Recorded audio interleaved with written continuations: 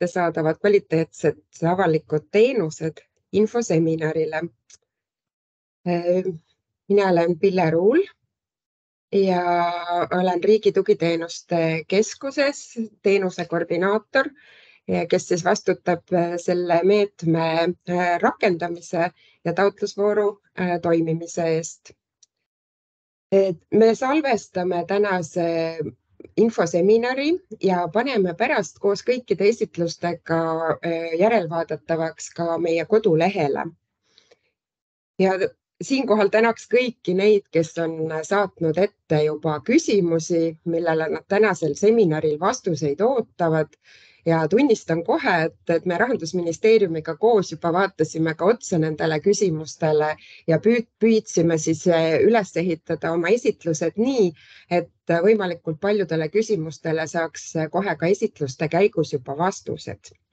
Aga need küsimused, millele esitlustes te vastust ei kuule või mis tahaksid täpsustamist, nende kohta võite lahkesti chati panna veel küsimused, et siis kas esitluste lõpus või siis pärast infoseminari lõpuosas me võtame aega selleks, et vastata täiendavalt saabunud küsimustele et soovitan kõikidel vaadata, kas mikrid on kinni, välja arvatud need, kes just äh, rääkida, esineda tahavad.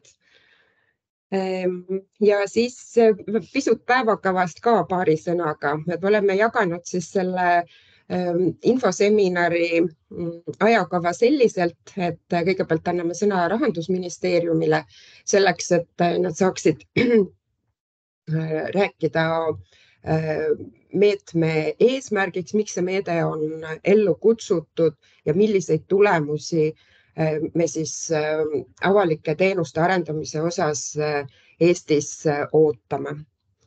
ja, ja pisut Tea siis räägib ka sellest ajakavast ja, ja kogu sellest meetme ülesehitusest.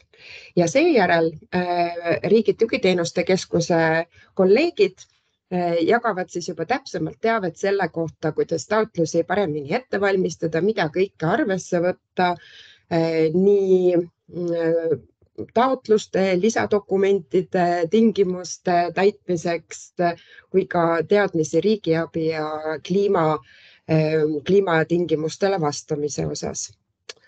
ja ongi siinkohal kõik.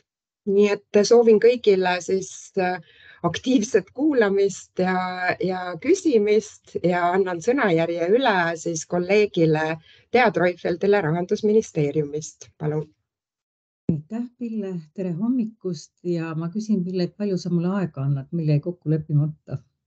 no ma vaatasin su slaidide arvu järgi ja, ja kui oluline jutt sul rääkida on, et ma arvan, et võid arvestada kahekümne minutiga ja siis on veel küsimusteks ka natuke aega. Okay tere hommikust veel kuulajatele ja praegu veel Rahandusministeerium, olen selle teenuste meetme autor ja nii-öelda eestvedaja ja rakendusasutuse esindaja selles mõttes, selle meetme mõttes ja proovin teile anda sellised väga olulised, kuidas ma ütlen, verstapostid teele selle meetme taotluste kirjutamisel, et mis on, mis on oluline ja mida me oleme silmas pidanud ja miks see meede üldse selline on, nagu ta on, lühiülevaade. ma jagan oma slaide ja andke andeks, kui mõne slaidi peal on palju informatsiooni, see on sellepärast, et pärast tagantjärgi vaadates saaksite seda vajalikku informatsiooni nii-öelda koondatult äh, vaadata ja näha. et olulised punktid ma käin läbi. nii Äh, jäi ütlemata veel, et edaspidi on Rahandusministeeriumi asemel meie ministeeriumis, ministeeriumiks Regionaalarengu Ministeerium. Nii et, äh, aga mul slaidid ei liigu. naljakas.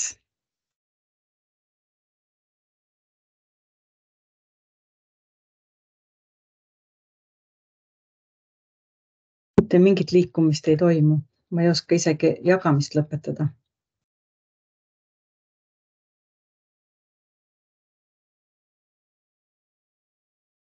ahhaa, proovime siis veel kord.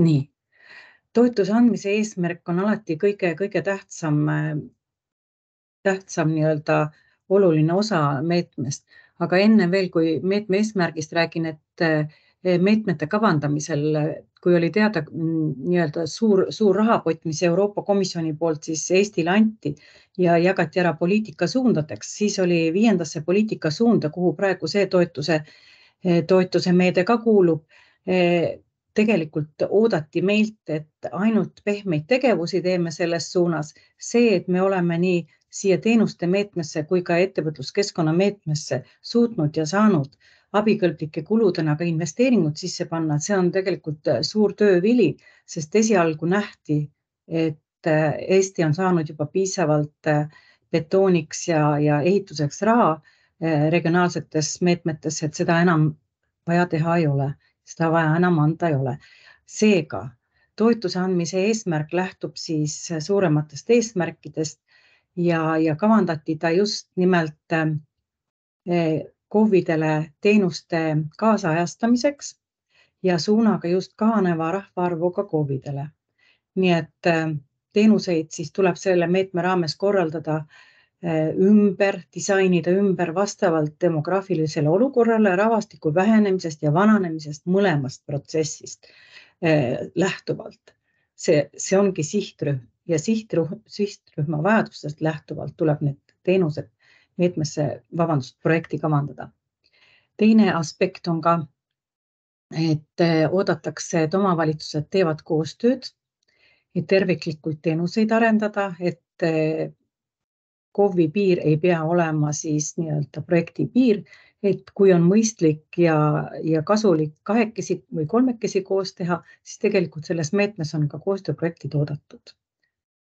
Ja, ja veel kord ka see, et kõik ühiskonnagrupid peavad olema siis projektis võrdselt koheldud ja, ja ligipääsetavus tagatud, ükskõik mida te siis teete, kas te teete siis pehmeid projekte, pehmeid ja investeeringutega projekte või, või on ka mõned investeeringute projektid. kellele see toetus on siis disainitud, et panin, kasutasin pilte ja paningi, et ta tegelikult on teie valla inimestele mõeldud, et teenuseid parandada ja esimene teenuste grupp on mm, avalikud teenused, eks ju, KOKS-i järgi vaadata, siis avalikke teenuseid on päris palju ja millis, millised eh, valib vald projekti, projekti, see sõltub nüüd vallast, sõltub sellest, eh, mis ütlevad teie uuringud, analüüsid, milline on kõige suurem kitsaskoht, et kuhu tuleb siis see või on mõistlik see projekti raha paigutada ja millist teenust siis arendada, kus on kõige suurem vajadus. Olen siia toonud veel erandid välja Harju ja Tartu, äh, Tartu kohta, et seda on nii palju Tartule ja Harjule vastatud, et ma siin praegu aega sellega kinni ei pane, aga, aga meetme, meetmest ei toetata Tartu ja Tallinna linna piirkonna projekte. kes siis võivad olla toetuse taotlejad, et ähm, kahaneva rahvaarvuga kohalikud omavalitsused, esiteks siis on era, eraldi veel välja toodud äh, piirkondlik veeettevõtja. Äh, see tegevus ja teenus äh, tuli, tuli meile nii-öelda KIK-i, KIK-i ja keskkonnaministeeriumi komplektist tuli sellepärast, et ka Euroopa Komisjon ei andnud enam sellisele piirkondlike veeettevõtjatele, väikestele tegevustele raha, et leiti, et on piisavalt juba saadud selle peale raha, et kui siis ainult regionaalsete toetuste raames võib siin üht-teist ära teha ja, ja selle, selle tegevuse raames eelnes väga pikk arutelu ekspertide ja nii KIK-i kui KEM-iga, et millised, milline, on see rakurss ja kuidas üldse seda eh, tegevust siia meetmesse panna ja sisse võtta ja praegu on ta selliselt, et piirkondlik vee-ettevõtja on see, kes saab taotleda siin on talle definitsioon ka antud. taotlejaks võib veel olla sihtasutus ja mittetulundusühing. ma panin juurde siia ka sellise laienduse, et üldjuhul on selle meetmes ette nähtud, et projekti minimaalne siis ulatus saab olla KOV-i ulatus. Et kui ka sihtasutus ja mittetulundusühing on, siis võivad olla taotlejad, siis tuleb silmas pidada, et need tegevused, mida nad siis äh, tegema lähevad, peavad olema siis mõeldud kogu valla inimestele või valla suurusele territooriumile või suuremale ja, ja veel üks väga oluline aspekt on, et taotleja peab tagama projekti tõenduspõhisuse, seda me oleme ka rääkinud mitmel korral eh, ja, ja põhjalikumalt, et et oleks läbi kaalutud erinevad alternatiivid, et oleks selge, milline on see eh, kõige suurem kitsaskoht või sekkumist vajav, vajav teenus, kuhu minnakse siis projektiga nii-öelda abiks. vot tõenduspõhisuse all siis mõeldakse juba planeerimise faasis siis läbi viidud analüüsi või uuringut. uuringut me ei ole mõelnudki, uuringut ka, kui sellist uuringut, mis on nagu uuringufirma poolt lausa tehtud, ta võib tehtud olla, võib ka mitte tehtud olla, kui teil on endal kompetents, siis palun, te saate seda kõike ise teha, aga praegu on ka avatud äh, taotlusvoor, kus saab ka vastavaid uuringuid läbi viia, nii et selles mõttes on regionaalarengu programm ka siin abiks tulnud ja mida toetatakse, milliseid muudatusi oodatakse, et äh, veel kord, et äh, toetatakse neid tegevusi, mis, neid projekte, mis panustavad toetuse eesmärgi ja tulemuste saavutamisse, seda palun ärge kunagi ära unustage, et see on nagu see a priori. teine mm, hästi oluline moment on, et need projektid peavad lähtuma, nende tegevused peavad lähtuma maakonna arengustrateegia eesmärkidest, et on küsitud, et mis see, see lähtumine tähendab. et me ei ole sisse kirjutanud, et ta peab olema tegevuskavas, tegevuskavas peab olema ettevõtluskeskkonna tegevus, aga siin mm, ehk see mõte on taga see, et igasugune Eh, projekti tegevus, mida, mida viiakse läbi tõukefondide rahaga, ta peab ikkagi lähtuma strateegilistest suundadest ja antud juhul on maakonnastrateegia see suunis, mis, mis allapoole siis kehtib ka KOV-idele. KOV-ide enda arengukavad lähtuvad ka maakonna arengustrateegiast. ja, ja kui te kavandate oma projekti tegevusi, siis, siis see tegevus peab olema äratuntav äh, selles mõttes ka strateegias, et äh, strateegia teda toetab, et mitte sõnasõnaliselt sees, aga äratuntavalt sees. siis äh, projektid peavad olema kavandatud rahvastiku vähenemise, vananemise, vananemist arvestavalt ja sihtrühma vajadusi arvestavalt, nii et see tähendab seda, et te peate teadma, kellele te kavandate, kes on teie sihtrühm, see peab olema siis kaardistatud ja analüüsitud ja, kitsaskohad välja toodud ja lahendusteed. jah, siin on veel kord, et vajadus on analüüsitud ja põhjendatud ja parim äh, võimalik lahendus on leitud, et, et seda me ootame. ja siis veel kord toetatavad tegevused on avalikud teenused, äh, piirkondliku veeettevõtja arendustegevused ja investeeringud ühisveevärgi ja kanalisatsiooni rekonstrueerimiseks või rajamiseks ja alla kahe tuhande reostuskoormusega aladel. nii et see on nagu definitsioonis sees. ja kolmas tegevus on avaliku linnaruumi arendustegevus. Nendest tegevustest ma räägin natukene hiljem mõne slaidi võrra, aga praegu siis järgmine. nii, võtame selle piirkondliku veeettevõtja abikõlbulikkuse ette, et sellega oli päris pikalt manööverdamist ja konsulteerimist ja, ja küsimustele vastamist, nii et, et piirkondlik veeettevõtja abikõlbulikud on siis arendustegevused ja investeeringud. et eh, selgus, et ega piirkond, tähendab vee-ettevõtjatel väga palju neid eh, arendustegevusi selliseid ei ole, mis on nagu traditsiooniliseks, traditsiooniliselt võiks öelda, et need on arendustegevused, pigem on seal suuremad investeeringud kanal, kanalit, kanalisatsiooni ja veevärgi torustike panemiseks, reovee puhastite ehitamiseks, aga see oleks siis ikkagi nendele aladele, kus on see reostuskoormus alla kahe tuhande IE. ja mm, toetust siis antakse kolmel erineval juhul. kui vee-ettevõtja on eh, reovee kogumisalal alustanud teenuse pakkumist pärast esimest jaanuari kaks tuhat kakskümmend üks, see piirang on seotud ka siis eh, perioodi, selle toetusperioodi algusega kui maakonna kõikidel alla kahe tuhande IE kogumisaladel osutab juba piirkondlik vee-ettevõtja veeteenust.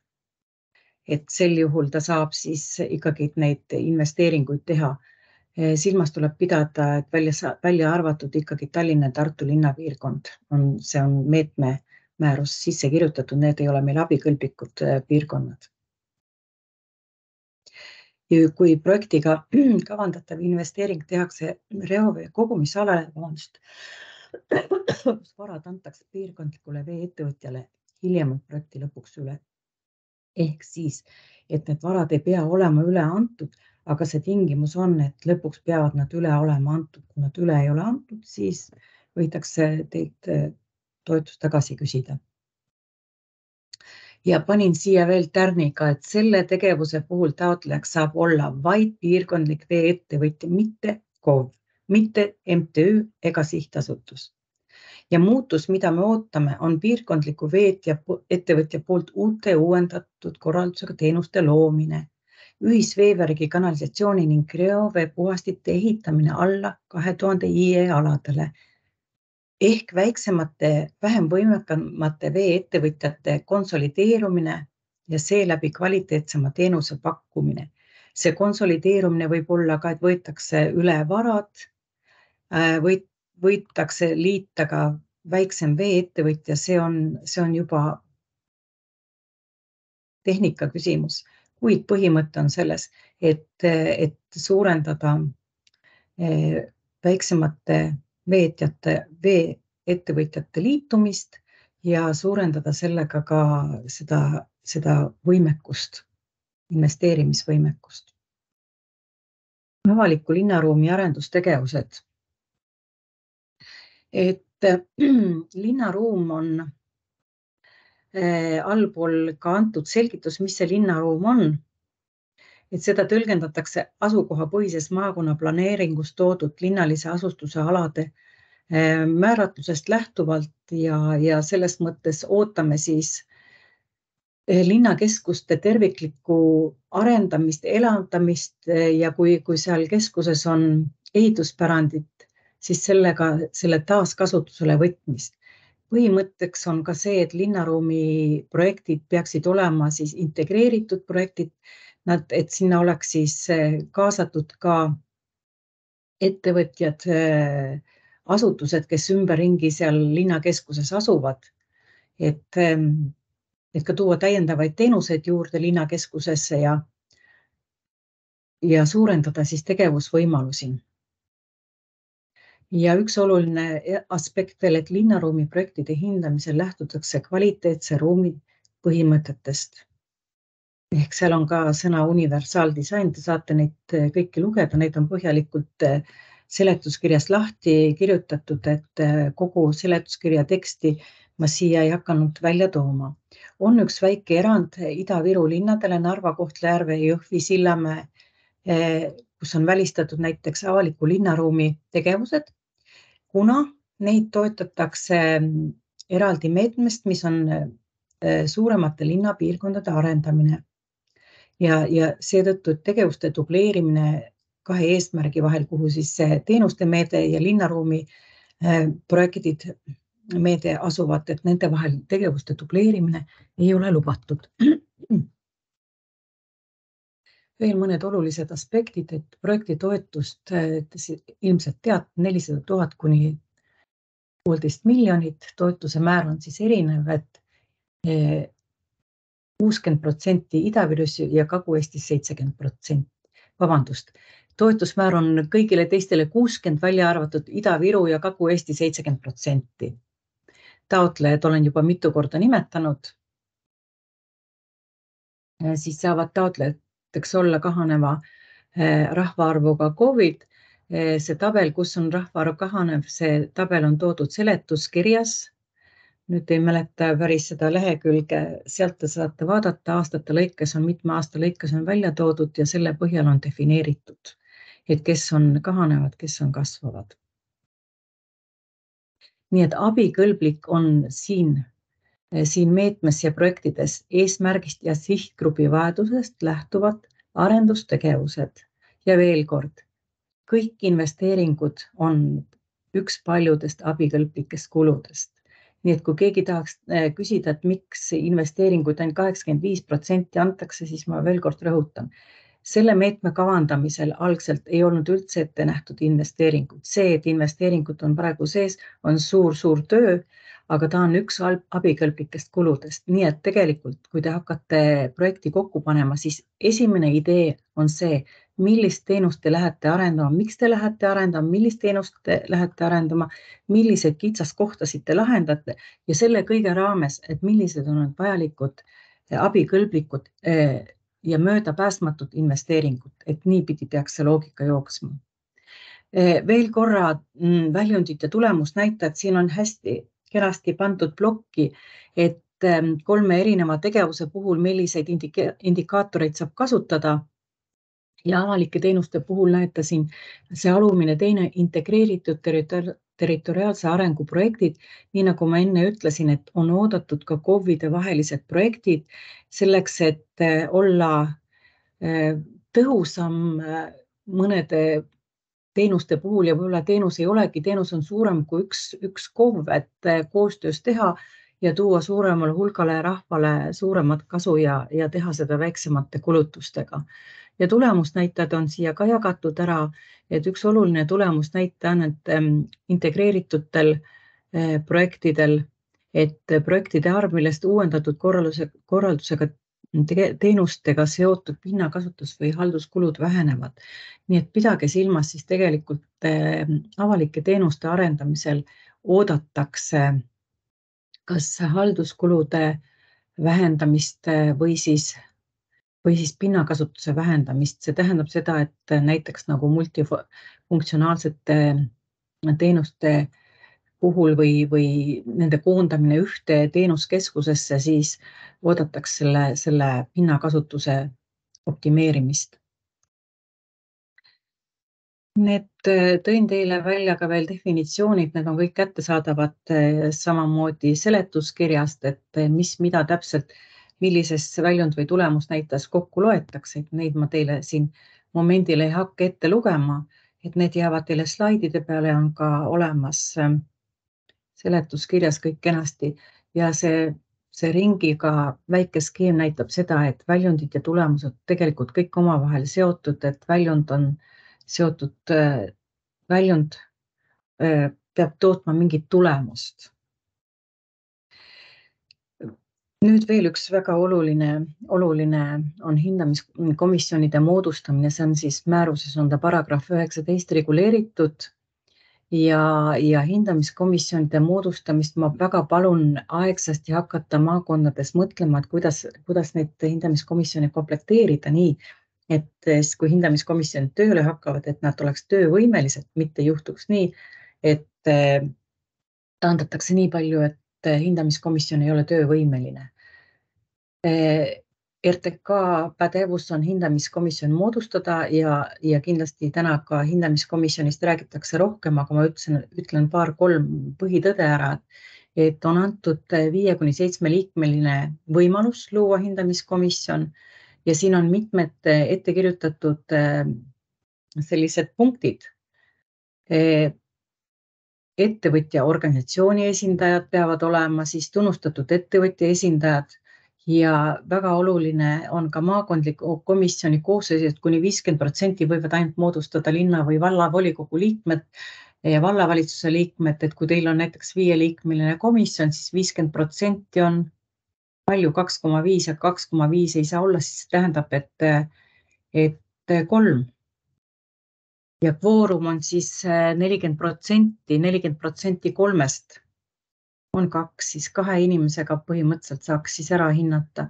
aga, aga vaadake, et need ei läheks, läheks vastuollu kõigi muude tingimustega. Äh, RTK saadab teile kirja, kus on need punktid kõik kirjas ja, ja oodatakse teatud tähtpäevaks Maro vastukirja, et kes siis liikmeteks äh, saavad, sinna on tarvis Marode poolt panna ka äh, nende inimeste nimed, millist organisatsiooni nad esindavad ja nende liikmete valikuprotsessi kirjeldus, et see on hästi oluline, et kuidas neid liikmeid valiti, et kas oli, kas lihtsalt nimetati, et seda me ei oota, me ootame, et ikkagi ta on mingisugune, kas konkurss või, või mingi valik tehakse mingite pädevuste alusel või kogemuste alusel. ja siia on viimane, viimane pool on, et soovitatavalt liikmete pädevuste ja kogemuste kirjeldus, et see oleks alati, alati kasuks. Nii ajakavast, et ähm, tulles vastu äh, maakondade soovile, lõime siis taotlusvooru kahte gruppi, see ei ole kaks taotlusvooru, see on, see on kaks gruppi. Ja mõlemad grupid alustavad samal ajal, et taotlusvoor avaneb kahekümne, on avanenud kahekümne kaheksandal aprillil ja, ja aga mõlemal grupil on erinevad siis äh, nii-öelda esitamise tähtajad, ses mõttes, et äh, osad äh, palusid pikemat tähtaega, kuna lihtsalt ei ole ettevalmistustega nii kaugele jõudnud. et need, kes, kus grupis on, need, neid kirju me oleme mitu korda saatnud, te olete kõik teadlikud, kuhu gruppi te lõpuks siis ennast ise positsioneerisite. nii et otsused tulevad esimesel grupil kuskil veebruaris järgmisel aastal, teisel grupil kuskil juulis. Ja siin on veel, veel paar olulist äh, määrusest võetud tähtaega ehitustegevustega projektide puhul on antud siis eh, tähtaeg kaheksateist kuud, millal,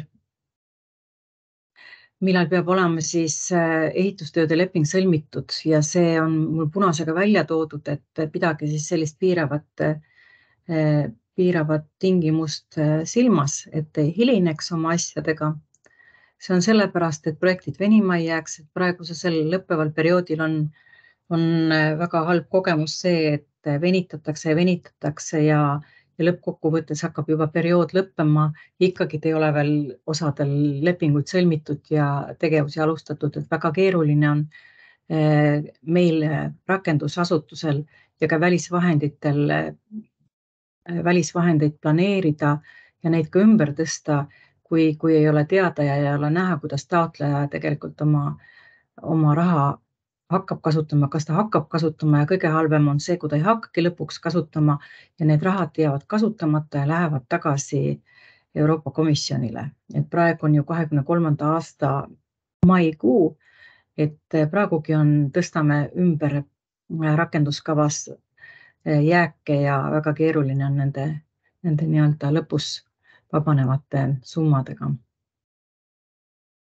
projekti abikõlbulikkuse perioodi lõpp ei tohi olla hilisem kui kolmkümmend kuus alates taotluse esitamise tähtpäevast. taotluse esitamise tähtpäev on toodud real kaks, nii et sellest eh, loetakse siis seda.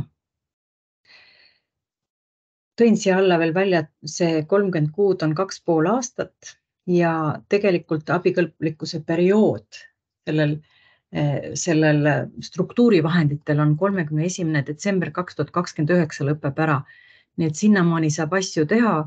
aga kuna strateegiline otsus oli teenuste meetme puhul, et teenuste meetmel käivitatakse ainult üks voor, sest see, see rahasumma, mida jagada, oli niivõrd väike, et kahte vooru ei olnud põhjust teha. juhul kui jäävad teistest meetmetest suured jäägid või sellest meetmest suured jäägid, siis saab seda otsust hiljem muuta, aga praegu on otsustatud nii, et üks taotlusvoor ja need tähtajad on siin teile näha. nii, küsitakse veel hmm.. siin on voorud, meie, meie siis regionaalarengu meetmete voorud ja tähtajad.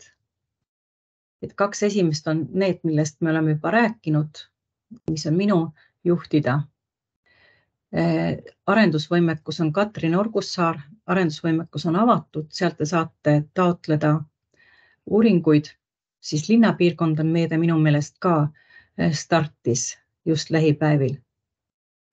siis on veel KOV-ide investeeringud jalg- ja jalgrattateedesse. Et see on lahtine, et eh, meil on uus inimene, kes hakkab selle, seda määrust kirjutama. Ja on veel üks uus meede, tuuleenergeetika planeeringute kiirendamise toetusmeede KOV-idele, et see on suhteliselt uus ja seda eh, kirjutab eh, Katrin Orgussaar. nii, aga, aga üks oluline teema on veel, et küsitakse tahetakse hooned ehitada. eh, teenuste meetmes, siis sellele alternatiiviks pakun välja tabeli, kus on näha, kus saab erinevaid KOV hooneid siis kas rekonstrueerida muinsuskaitselisi hooneid teha või siis KredExi fondiga elamuarendust arendada, et CO2 kaughooned. taotlusvoor viisteist mai. See on moderniseerimisfondist on kolmkümmend viis miljonit, tuleb juulis. taotlusvoor peaks avanema. CO2 muinsuskaitselised hooned, see on praegu lahtine, millal see lahti läheb, kuus kuni kaheksa miljonit on seal ja siis KredExi, KredExi elamufondi arendamise investeeringutoetus on avatud ja läheb kinni teisel juuni, teisel juunil. Et palun KOV-id, kes ei ole informeeritud, uurige neid meetmeid ja saate, saate sealt nendest meetmetest oma hoonete ehitamisele toetust, kui ei ole tarvis teenuseid arendada, nii et teenuste meede on ikkagi teenuste ümberkorraldamiseks vananeva ja väheneva rahvastiku, rahvastikule ehk momendi, momendi olukorrale. Ja, ja oligi minu poolt kõik ja ma ei teagi, kas ma kasutasin aja ära või läksin üle, et igatahes selline see esitlus sai ja, ja tänan kuulamast. suur tänu sulle, Tea, väga hästi olime üksteist mõistnud ajalise kasutuse osas nii et sa oled täiesti, täiesti õiges, õiges võtmes. Et vaatan siinkohal või küsin Reelika käest, kas on chati tulnud küsimusi vahepeal Teale? chati ei ole küsimusi tulnud, et hommikul registreerimisel oli üks küsimus tulnud, et soovitakse aru saada täpselt linnaruumi mõistest, kas linnaruum on ainult linn või on ka väiksema valla külakeskus? see oli ühe slaidi peal ka kirjas, et mida me linnaruumi all mõistame. See, kes külakeskust, külad on ka erinevad, et ma arvan, et tegelikult selle küsimuse võiks siis esitada, esitaja konkreetsemalt, et millist külakeskust ta mõtleb ja siis me saame sellele otsa vaadata. et paremat vastust praegu ei, ei oska anda, palun saatke see kas siis meili peale, kui taha chati kirjutada, siis me saame analüüsida seda külakeskust milline külakeskus see on, palju seal rahvastikku on ja kuidas ta tegelikult välja näeb?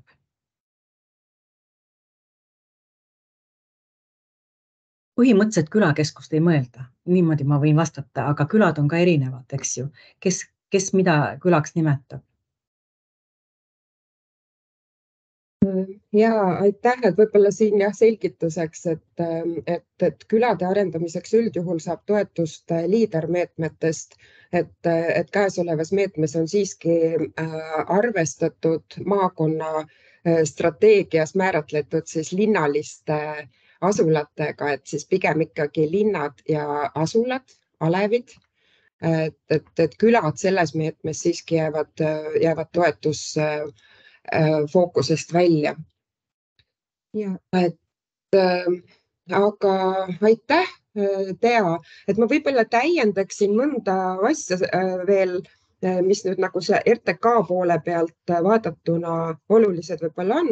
esiteks hindamiskomisjoni osa, et siinkohal tahan siis lihtsalt teavitada kõiki marusid, kes siin kuulavad ja, ja kohal on, et et lähipäevil saadame teile äh, siis äh, pöördumise hindamiskomisjonide moodustamiseks ja, ja loodame teilt saada siis juba äh, komisjoni liikmete ja asendusliikmete määramise ettepanekud enne jaanipäeva ehk siis enne kui puhkustele lähete, siis saate veel sellega, sellega tegeleda ja meile saata et äh, saadan teile ka siis täpsustavad, äh, täpsustava kirja selle protsessi kohta, et kuidas see protsess äh, välja näeb ajaliselt ja, ja millised on siis täpselt need ootused.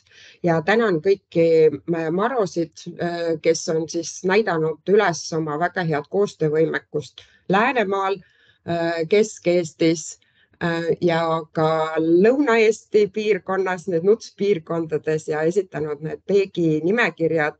Ida-Virust veel ootame täiendusi, aga loodame, et need äh, saab ka, äh, selle komisjoni saab ka korda.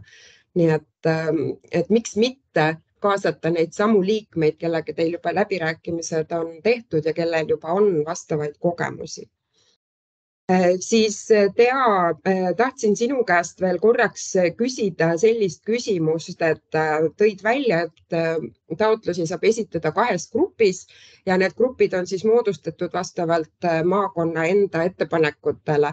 et kas sa oskad ka vastata, kas neid saab vahetada ka, et tahan ühest grupist teise minna, et kas see on võimalik või mitte?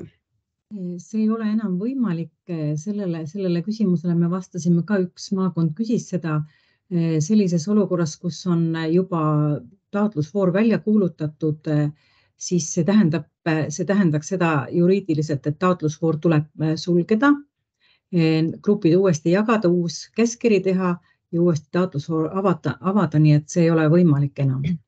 aga ma meenutan, et ennem kui, kui käskkiri läks ringile Ehm, sai kõikidele maakondadele saadetud ju veel kord kiri välja ja veel kord üle küsitud, et kuidas on seis ja kuhu gruppi te tahate kuuluda. nii et eh, praegu on nii ja praegu tuleb sellise tempoga edasi minna, et seda muudatust enam teha ei saa kahjuks mm. -hmm. ja Pille vahepeal on tulnud üks küsimus, et eh, kas ma loen ette? jah. et kas meetmeid on võimalik ka kombineerida, avalikud teenused ja ligi nullenergia toetus ma võib-olla kommenteerin siia, et Emmis Voss, mina Kose vallavalitsusest. Ähm, jah, ähm, ütleme, et me räägime teenuse ümberkorraldamisest, siis antud juhul ähm, kavandamisel on äh, uus, uus lasteaed, mis tegelikult äh, kolm, äh, vähemalt kolm asukohta võtaks kokku. lihtsalt investeeringu maht on nii suur, et, et, et see üks toetusmeede on võib-olla ainult siin napilt kümme protsenti katakse ära sellepärast ka selline küsimus. kas on võimalik kombineerida ühte ja teist meedet ja ajaliselt nad äh, tegelikult ju klapiksid? ja põhimõtteliselt on võimalik kombineerida, aga see jah, aga kuidas see, see kombineerimine käib, et see tuleb äh, väga täpselt äh, välja töötada, et nad nii-öelda ühte sammu ja ajalist sammu ja tegevuste sammu peaksid, et seda tuleks siis TEM-is eraldi vaadata, et mis tegevused, kust mm, -hmm. kuidas, eks ju mm. -hmm et äkki ma siis võtan eraldi sinuga ühendust, et, et noh, aru saada, et kas on võimalik või ei ole. ja, ja ma võtan okay., ma võtan Tarmo, Tarmo, kes on siis meie nende teiste meetmete spetsialist, võtan ka kõrvale, et siis vaatame, et kuidas mm -hmm. need kokku hakkavad kõlama, eks ju mm. -hmm. aitäh, võtan ühendust. palun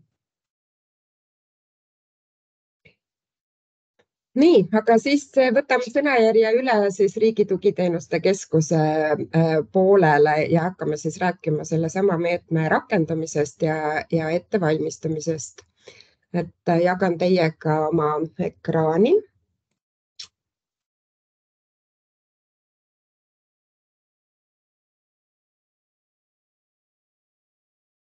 nii ähm, ja ma olen tänulik Teale, et Tea juba väga põhjalikult rääkis paljud äh, asjad äh, selgeks.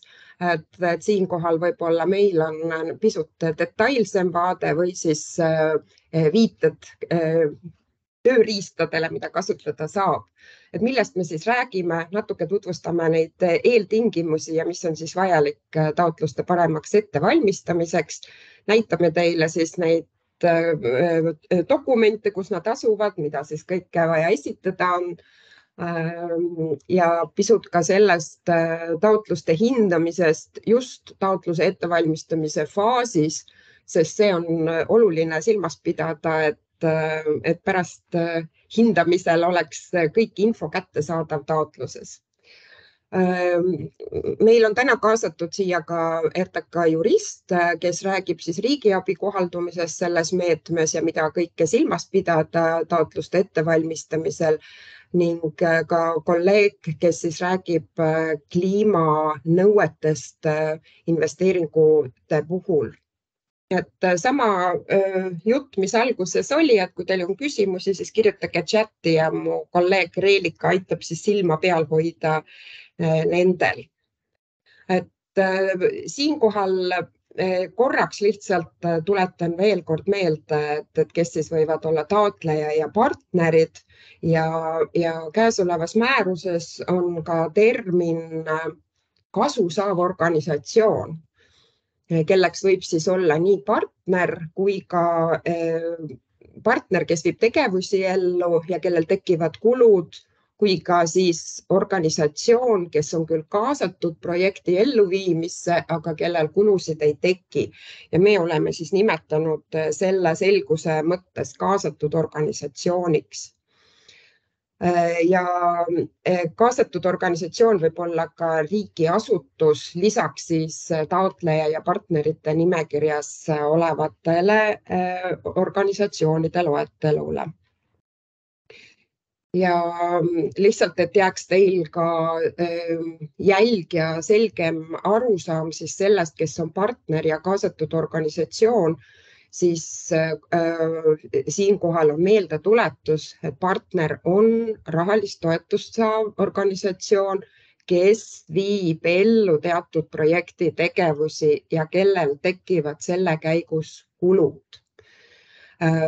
oluline on siis see, et et partneri poolt oleks esitatud siis ka kinnituskiri ja selgitused selle kohta, mida ta täpselt teeb, kes mida siin projektis teeb ja, ja kuidas see kõik projekti mõju äh, suurendab või millist mõju ta avaldab projektile äh,. kaasatud organisatsiooni äh, puhul mm, nagu ma juba ütlesin, siis nendel kulusid ei teki, aga nad on võib-olla äh, oma teadmistega olulised äh, partnerid projektis.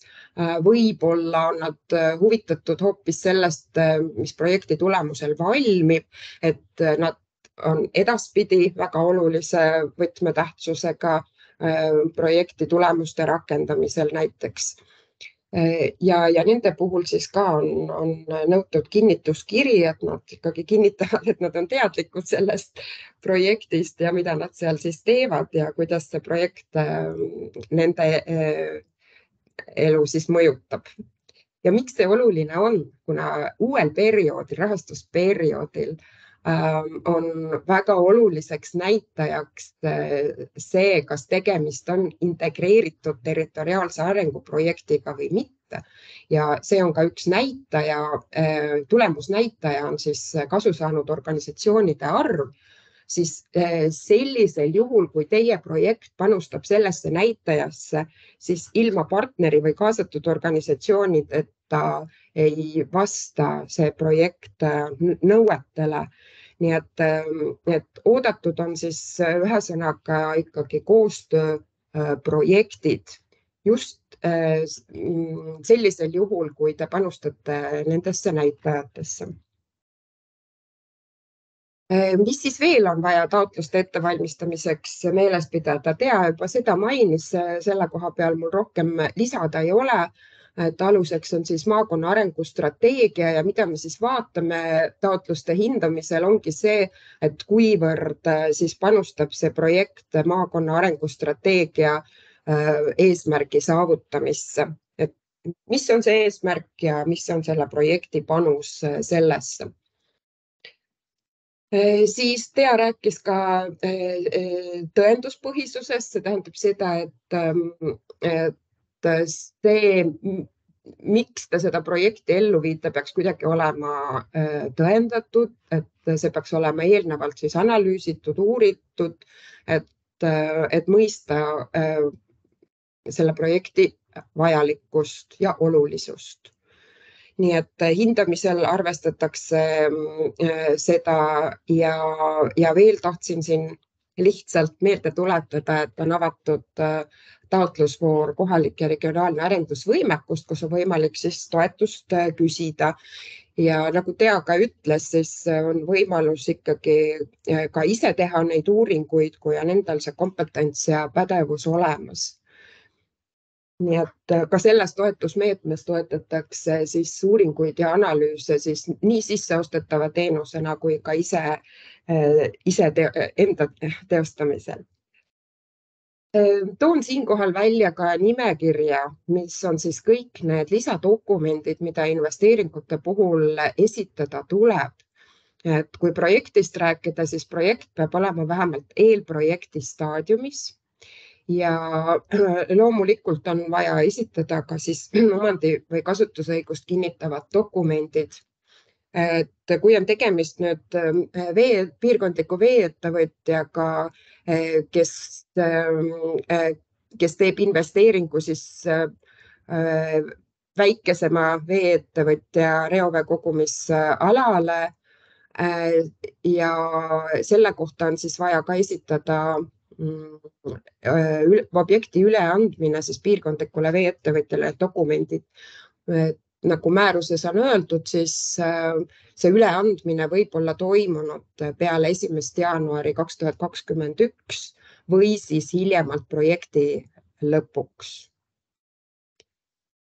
Ähm, veel on oluline ka meeles pidada seda, et, ähm, et oleks äh, sõlmitud siis avaliku kasutamise kokkulepped äriühingute, tulundusasutuse ning eraisikutele kuuluvate objektide investeeringute korral.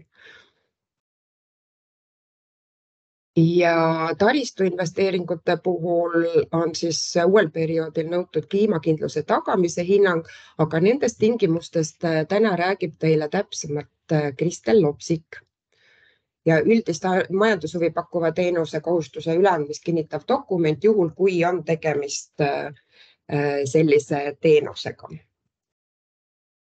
Mm, äh, tea tegelikult puudutas juba ka tingimusi, mis on siis seatud äh, linnaruumi arendamisele, aga siinkohal toon lihtsalt igaks juhuks, kuna tegemist on uue perioodiga, siis välja ka täpsustavalt millesse siis projektid peavad panustama, ehk siis kui te juba projekti hakkate ette valmistama, et te teaksite ikkagi kohe arvestada eh, nende tingimustega mm, juba eos.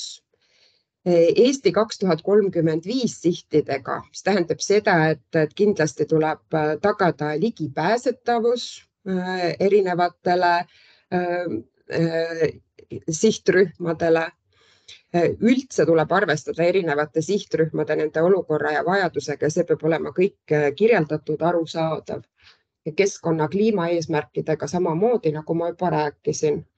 Ehm, selle, äh, kui te näete terminit uue, uus Euroopa Bauhaus, siis ma lihtsalt sellepärast panin selle siia, et Tea tegelikult rääkis juba ka sellest äh, kvaliteedisüsteemist, mis on siis äh, selline uus äh, lähenemine ruumilahendustele nii sise kui äh, välisruumile, et, et osatakse arvestada lisaks tehnilistele tingimustele ka siis sellise ehm, esteetilise ja säästlikkuse ja üldse kogu ehituse elupikkuse ehm, hooldamise ning ka pärast äh, ringkasutuse võimalustega nii et, ähm, et need on nüüd kõik uue perioodi sellised äh, kvaliteedi, kvaliteedinõuded, mis siis ehitistele, investeeringutele kaasnevad. ja äh, nüüd veel mõned sellised selgitused, mis äh, on teie küsimuste kaudu meieni tulnud ja mida me pidasime vajalikuks siis kõigiga jagada et et on segadust tekitanud äh, arusaam, et, et, et mis ja kuidas siis nende ettevalmistavate tegevustega äh,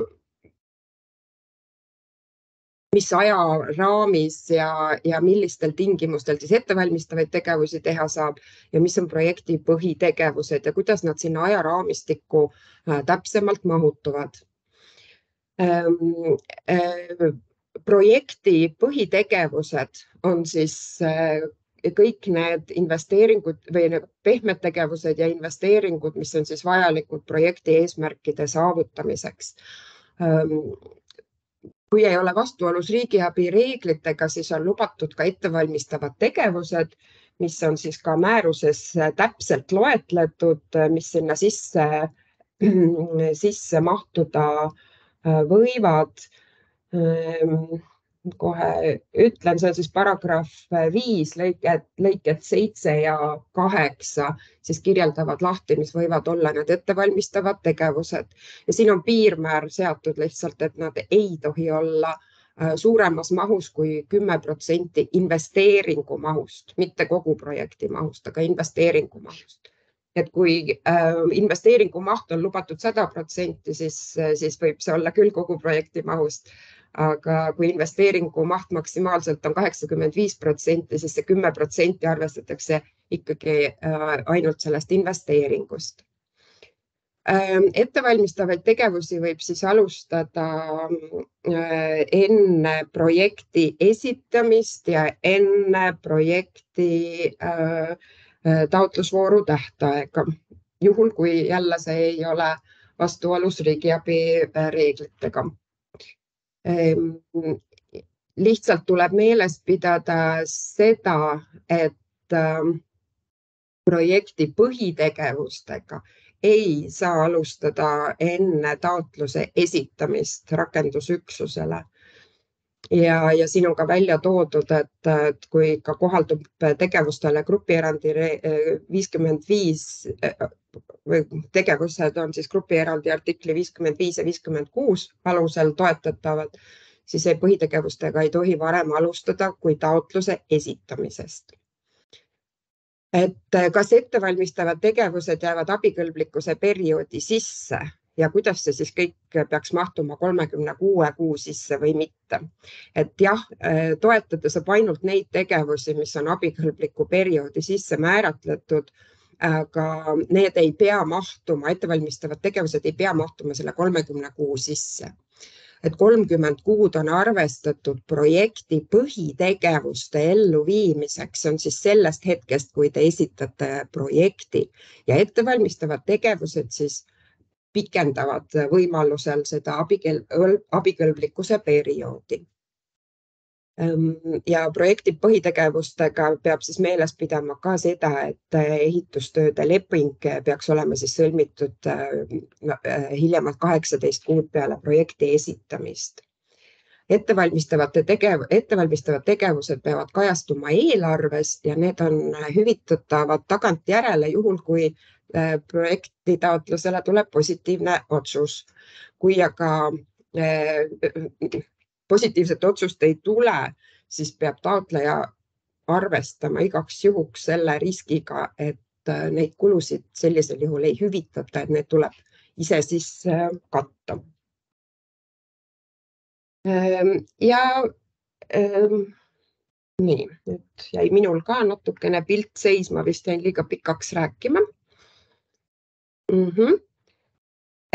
ja toon siinkohal veel välja ka mõned selgitused, et mis siis miski tähendab, kuigi ma usun, et siin kuulajatel on nii palju kogemusi, et paljud juba teavad seda ka ise. et on kaks äh, erinevat äh, perioodi, üks on siis toetavad toetatavate tegevuste abikõlblikkuse periood, mis tähendab projekti abikõlblikkuse perioodi ja teine on siis toetuse andmise abikõlblikkuse periood, mis on siis meetme, äh, kogu see meetme rakendamise periood. Äh, nii et toetatavate tegevuste abikõlblikkuse periood peab kindlasti ära mahtuma äh, toetuse andmise abikõlblikkuse perioodi, et need ei ole üks ja sama asi. Ja siis on kasutusel ka terminid, mis on tekitanud küsimusi, et mis siis ikkagi, mis on taotluse esitamise tähtpäev ja taotlusvooru tähtaeg, need siis tähendavad äh, kahe grupi taotlusvoor, taotluste esitamise tähtaega. Ehk siis esimesel grupil on see kolmekümnes äh, oktoober sel aastal ja teisel grupil kahekümne üheksas märts. Äh, siis on veel üks termin, mis läbi käib määrusest, taotluse esitamise päev rakendusüksusele mis tähendab seda näiteks, et tegevusi ei tohi alustada äh, enne taotluse esitamise päeva, äh, mis võib olla varem kui see tähtaeg.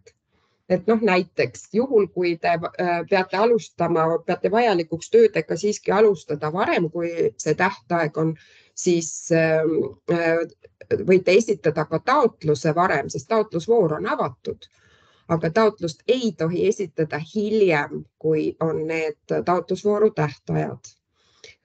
samas tuleb meeles pidada ka seda, et taotluste menetlemine algab siiski alles peale tähtaja möödumist. ehk siis, kui te võtate selle riski, esitate taotluse varem ja alustate juba põhitegevustega varem, siis taotlusotsust, taotluse rahuldamise otsust ei saa ikkagi varem, kui see taotlusvoor on sulgunud. ja ongi minu poolt praegu kõik. mina annaksin nüüd siinkohal sõnajärje edasi oma kolleeg Saskiale, kes siis näitab, kust siis leida kõiki neid abimaterjale ja kuidas siis paremini taotlust ette valmistada. Aitäh, Pille. ja kohe lõpetan jagamise. nii et võtan siis sujuvat jutujärje üle, et näitan, millised dokumendid ja kus nad siis asuvad äh,. slaididel on kenasti ka link otse meetme lehele, aga kui slaide käepärast pole, siis oleks vaja see info leida ka ise meie kodulehelt ülevalt.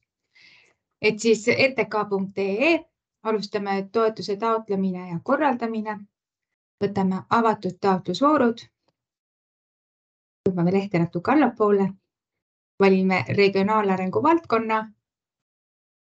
ja siia lingile vajutades ja lehte natuke allapoole tõmmates jõuame ka avatud meetmeteni ja kättesaadavad ava, kvaliteetsed avalikud teenused on siis siin. Meetme lehele oleme siis toonud kokku kogu vajaliku info. siin on eraldi välja toodud meetme eesmärk, eraldi välja toodud jällegi siis taotlusvoorud kahe grupi kohta Eh, sihtgrupp, eh, kogu eelarve maakondade kaupa, mis on annab hea ülevaate. Eh, ja siia oleme välja toonud ka uksed, mille kaudu saab taotlust esitama minna. Kindlasti tähelepanu pöörata, et Ida-Viru linnapiirkond ja Pärnu linnapiirkond ja, ja Ida-Viru maakond ja Pärnu maakond, nendel on erinevad uksed. et väga tähelepanelik palun olla õige ukse valimisel, sest juhul, kui info sisestatakse vale ukse kaudu, siis kahjuks tuleb kogu info pärast uuesti ümber kopeerida õigesse, õigesse taotlusvooru. Meetme kodulehel on välja toodud ka tingimused, määrus, hindamine. siin on ka infopäeva link kuhu paneme siis ka tänase infopäeva lindistuse siin paari lähima päeva jooksul ülesse. ja juhendid ja dokumendid, kus leiab siis äh, kõik vajaminevad dokumendid, et taotlust ette valmistada. on olemas hindamismetoodika, kindlasti palun hindamismetoodikat ka taotluse koostamise ajal lugeda, sest sealt saab siis olulist infot, mida te saate võrrelda, et kas kõik, kõik vajalik on oma taotluses kajastatud. on taotlusvorm koos selgitustega. kaasatud organisatsiooni ja partneri kinnituskirjad ja taotlusvormi riskide hindamine. riskid on meil välja toodud ka taotlusvormis, aga kuna meil on kindlad valdkonnad, mida me soovime, et taotlemisel läbi mõeldakse, siis oleme teinud ka eraldi Exceli siia juurde ja loomulikult, kui, kui taotluse koostamise, koostamise käigus leiate, et, et on veel mingisuguseid riske, siis saab need siia kenasti juurde lisada. oleme koostanud ka finantsanalüüsi Exceli ja finantsanalüüsi seletuskirja ja nagu ikka, järgime traditsioone ja, ja meie finantsanalüüs on ko koostatud samas värvikammas nagu tavaliselt ja, ja laias laastus on ta ikkagi selline nagu nii PKT voorus kui ka PEGI voorus juba tuttavaks saanud on. et esilehel on juhend, oleme toonud siia ka riigiabi liigi ja mõisted. siin on veel välja toodud erinevad kahaneva rahvaarvuga kohaliku omavalitsuse üksus ja, ja projekti kaudsed kulud. Ja, ja, ja siis nii ta läheb, et esileht saab valida siit äh, projekti perioodi finantsanalüüsi minimaalne periood on kümme aastat. saame märkida siia alguskuupäeva, valida organisatsioonid, kes, kes siin ähm, projektis osalevad organisatsiooni liigi ja märkida ka käibemaksu. ja siis juba lähevad edasi projekti elluviimise kulud. siin on siis nüüd oluline, et, et noh, nii, nii, nii, nii palju kui vajalik ja nii, nii vähe kui võimalik et, et lihtsalt, et siia finantsaruandesse projekti elluviimisega seotud kulude lehele, palun siis võimalikult täpselt välja tuua projektiga seotud kulud ja taotlusvormi saab need siis eh, natuke kokkuvõtlikumalt äh, kirja panna. ja, ja noh, seletuskirjas saab siis veel peensusteni lahti lüüa, et mida üks või teine kulu endas sisaldab. Miks ja milleks seda tehakse. aga ega mul taotlusvormi kohta nüüd rohkem ja taotluse dokumente, dokumentide kohta midagi rohkemat lisada ei olegi et eh, kui dokumendi täitmisel tekib küsimusi, siis saab alati meie poole pöörduda. ja, ja ma arvangi, et ma saan anda nüüd sõnajärje üles siis Katrile, kes siis räägib meile täpsemalt riigiabist. kas on nii, Pille? Ma annaks vahepeal ikkagi Kertule, meie talituse juhatajale sõna, et, et Kertu võib-olla paar sõna räägib ka hindamise kohta ja siis, siis saab Katri sõna, nii et Katril palun kannatust. see oli minu viga praegu tõesti. aga ma katsun hulle. nüüd selle, katsun nüüd selle öö.... jah, et Kertu, kas sa oled? selle jagamise lõpetada, nii, õnnestus. täitsa olemas ja ma luban, et ma teen üsna kiiresti ma vaatan korra, kas ma, kas ta leiab mul selle nüüd ülesse ka siin. nii.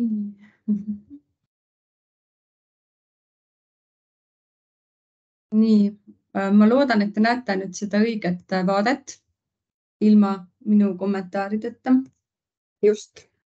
on jah Äh, jah, ma teen kiiresti, kuna tegelikult see aeg läheb siin nii märkamatult ruttu ja väga olulised äh, teemad on veel tulemas. aga, aga jah, äh, väga põgusalt räägime üle sellisest mitte üldse vähetähtsast protsessi osast kogu selle projekti esitamise menetlemise juures, nagu on projektide hindamine ja kui juba siin sai räägitud, et seda hindamist äh, viivad äh, tõepoolest läbi siis äh, maakondlikud hindamiskomisjonid, siis toon lihtsalt välja, mis on need hindamiskriteeriumid ja, ja mida me soovitame teil kui taotlejatel tegelikult juba enda projekti nii-öelda ka planeerimisel ja ettevalmistamisel arvesse võtta kõige äh, kaalukamaks äh, hindamiskriteeriumiks on siis projekti kooskõla maakonna arengustrateegiatega ja mõju meetme eesmärkide saavutamisele. et see on nüüd siin nii, nii mitmeski eelkõneleja poolt välja toodud ettekannetes läbi käinud selle, selle kriteeriumi raames hinnatakse siis projekti panust maakonna arengustrateegia ja meetme eesmärkide saavutamisse Äh, samuti ka projekti tulemuste ja mõju eeldatavat ulatust, äh, seda, kas need projekti tegevused hõlmavad siis ainult äh, ühte KOV-i, on nad mitme KOV-i ülese mõjuga. hinnatakse projekti panust meetme väljunde tulemusnäitajate saavutamisse ja ka nende väljundite tulemuste kestlikkust pärast projekti lõppu. siis oluliseks hindamiskriteeriumiks on ka projekti põhjendatus. kas projekti eesmärgi püstitus on selge, põhjendatud, ta on arusaadav, on olemas, tuleb välja see konkreetne probleem või kitsaskoht, mida siis projekti tegevustega lahendama asutakse. kas see projekti sekkumisloogika või need valitud tegevused on arusaadavad ja mõjusad? kas tegevused on võimalusel siis ka innovaatilisi lahendusi soosivad ja kas tegevuste ajakava on realistlik sealhulgas siis äh, võttes arvesse tegevuste omavahelisi seoseid ja järgnevust. Äh, hinnatakse projekti kuluefektiivsust. Äh, kas need tegevused on eesmärkide saavutamiseks optimaalsed ka, ka ja kulutõhusad, kas planeeritud eelarve on realistlik, mõistlik, sealhulgas siis ka see, et kulude kujunemise alused on selged ja põhjendatud. Äh, see eelarve on läbipaistev. Ja milline on ka taotleja võimekus äh, täiendavate püsikulude rahastamiseks. hinnatakse ka ta, lisaks siis eraldi veel toetuse taotleja ja partneri suutlikkus seda projekti ellu viia. kas neil on olemas kvalifikatsioon, kogemus, samuti õiguslikud, organisatsioonilised ja tehnilised eeldused selle projekti elluviimiseks kavandatud viisil tagades siis sealjuures ka selle projekti kestlikkuse ja jätkusuutlikkuse. Äh, siis äh, sellise äh, väiksema kaaluga kriteerium on projekti kooskõla strateegia Eesti kaks tuhat kolmkümmend viis aluspõhimõtete ja sihtidega arvestamise osas, kus siis võetakse arvesse seda, et Eesti pikaajalise arengustrateegia aluspõhimõtted ja sihid, mis on seotud horisontaalsete põhimõtetega nagu sooline võrdõiguslikkus, ligipääsetavus keskkonnakaitse, samuti kliimaneutraalsus. E, et aidatakse siis kaasa ka nende eesmärkide saavutamisele ja panustatakse seeläbi riigi pikaajalise arengustrateegia näitajatesse. lisaks äh, on võimalik siis saada boonuspunkte. boonuspunktid äh, liidetakse nüüd ähm, äh, koond, koondhindele juhul, kui see projekt viiakse ellu integreeritud koostööprojektina ja ma olen kirja pannud siia nüüd meie sellise soovituse. Äh, kuigi see hindamismetoodika, mis on nüüd äh, üleval ka meie kodulehel äh, sealsamas, kus Saskia just tutvustas, kus kõik materjalid on ühe failina, et see tundub võib-olla, et see on midagi, mis on nüüd mõeldud ikkagi konkreetselt hindajate jaoks. noh, tõepoolest seda ta on, aga ma väga soovitan kõikidel taotlejatel oma ka juba nende tegevuste planeerimise juures võtta see hindamismetoodika ikkagi ette ja sellega põhjalikumalt äh, tutvuda. Äh, sealjuures siis äh, mitte üksnes metoodikaga, aga just nende hindamiskriteeriumide ja hindepunktide selgitustega. et, et tagada siis see, et tõepoolest need teie planeeritavad sekkumised ja tegevused oleksid põhjalikult läbi mõeldud ka kõikide nende aspektide osas, mida siis hindajad hindama hakkavad. ja, ja kui te nüüd selle projekti taotluse lõpuks olete äh, kokku pannud, äh, selle sisu sinna formuleerinud, teil on olemas igasugused toetavad lisadokumendid, siis kas vaadake see projekti taotlus sellise pilguga või, või veel parem, laske täiesti võib-olla kõrvalisel isikul, kes kes kogu seda, kelle peas ei ole kogu seda äh, projekti idee tausta võib-olla, mis teil äh, läbi lugeda just vastavalt äh, sellele metoodikale, et kas, kas kõik need punktid, mida nüüd hindajad hindama hakkavad, tulevad ka sellest taotlusest selgelt ja loogiliselt välja. Ja noh, te saate juba tegelikult oma taotlust kõrvutades selle hindamiskriteeriumide ja, ja, ja hindepunktide selgitustega väga hästi hinnata ka ise, et kas, kas teie äh, projekti idee üldse ja taotlus äh, nendele kriteeriumidele vastab. et äh, ta, võtke seda kui enda, enda abimeest projektitaotluse koostamisel ja, ja kindlasti äh,, kindlasti tutvuge selle metoodikaga ja kasutage seda abivahendina. et see, see on see minu sõnum võib-olla. nii aitäh, Kertu, superhead soovitused, ma arvan, usun, et kõik, kes nüüd praegu hoolega kuulasid ja selle kõrva taha panid, saavad toetuste hindamisel ka häid punkte ja on saanud mhm. parema ettevalmistuse Sest, oma taotlus. mida ma veel võib-olla ütlen, on tõepoolest see, et äh, pange tähele või noh, jätke meelde see, et kui see hindaja üks hetk juba seda taotlust hindama hakkab, siis temal ei ole enam võimalik esitada teile mingeid täiendavaid küsimusi või küsida selgitusi, kui, kui taotluses jääb tema jaoks midagi segasest, segaseks, et äh, just seetõttu vaadake ka neid hindepunktide selgitusi. noh, ma, ma usun, et äh, kõik, kes juba nii palju vaeva näevad, et seda projektitaotlust äh, kokku hakkavad panema, tahavad saada maksimaalselt head punktid, et te võtta, võtkegi need kriteeriumid Äh, punktide kirjeldused, mis on need maksimaalsete punktide nii-öelda jaoks peavad täidetud olema ja sellest lähtuvalt vaadake, kas teie taotluse sisust kõik see äh, oluline tuleb välja ja kas ta on nii-öelda ka taotluses õiges ja loogilises äh, kohas kirjeldatud.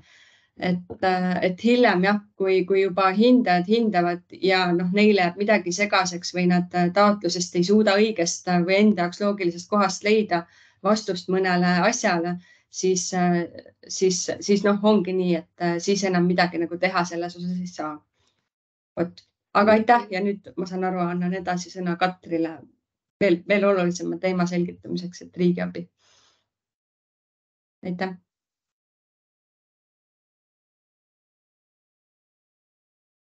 Pille, kas sa jagad äh, slaide või ma ise?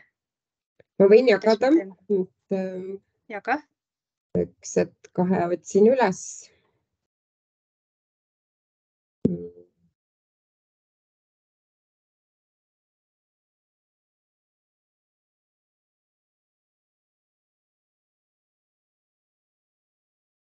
kas on näha? ja ilusti tere ka minu poolt. Mina räägin äh, mõne sõnaga riigiabist, et äh, meetme looja on ette näinud siis, et selles meetmes on võimalik tegevustele toetust anda siis horisontaalse vähese tähtsusega abina, üldist majandushuvi pakkuvate teenuste vähese tähtsusena, tähtsusega abina, riigiabina üldise grupierandi kolme määruse kolme artikli alusel, siis on võimalik anda üldist majandushuvi pakkuvate teenuste riigiabi, aga on ka võimalus, et, eh, et tegevusele antav toetus ei kvalifitseeru üldse riigiabiks. ja kuidas siis seda kindlaks teha, et millisel juhul on tegemist riigiabiga, millisel juhul mitte, et riigiabi vastab eh, neljale tunnusele ja need kõik tunnused peavad korraga esinema. esimene tunnus on see, et, et peavad olema kaasatud riigi vahendid ühtekuuluvusfondi äh, vahendid äh, loetakse riigi vahenditeks ja seega kättesaadavate avalike teenuste meetmes on see tingimus äh, alati täidetud. abil peab siis olema valikuline iseloom.